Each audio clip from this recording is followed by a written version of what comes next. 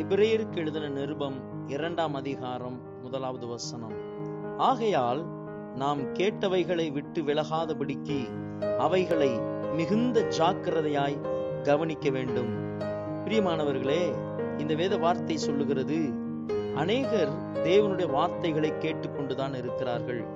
இங்கே ரட்சிப்பை குறித்தும் ரட்சிப்பினுடைய ஆசிர்வாதங்களை குறித்தும் எழுதப்பட்டிருக்கிறது. அநேகர் இந்த ரட்சிப்பை மிகவும் அஜாக்கிரதையாக எண்ணுகிறார்களாம். ஆனால் இங்கே எபிரேருக்கு எழுதின ஆசிரியர் நீங்கள் இந்த தேவனுடைய வார்த்தைகளை கேட்டவைகளோடு விட்டு விடாதபடி அவைகளை மிகுந்த ஜாக்கிரதையாய் கவனிக்க வேண்டும். அதாவது அதை கடைபிடிக்க வேண்டும். என கண்பானவர்களே நீங்கள் ஒருவேளை அநேக தேவனுடைய வார்த்தைகளை சத்தியங்களை போதனைகளை நீங்கள் கேட்டிருக்கலாம்.